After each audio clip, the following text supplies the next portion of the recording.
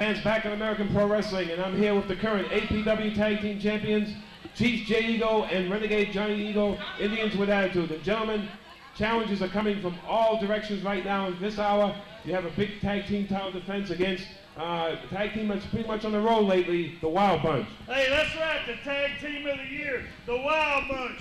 Boys, you're burning up American Pro Wrestling, but you're not burning up the IWA. Bring it on, we're ready for you. I hear that. And uh, Renegade Jonny Eagle, I'm sure you have the same thoughts on the Wild Bunch. Hey, the Wild Bunch, Tag Team of the Year, huh? Must be an IWA, Imaginary Wrestling Association. Son, you got one big shot coming up in your lifetime. Make the best of it, because I'll tell you one thing, you're going to be rolling on out of here with your hands down again. I hear that. And gentlemen, uh, everybody's been really happy with uh, you as a tag team right now, and I assume you're going to have more success here in the future.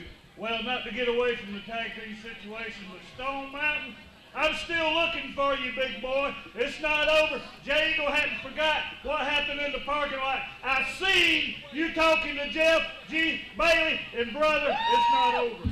There you have it, Indians with Attitude. And we'll be right back with more action here on American Pro Wrestling.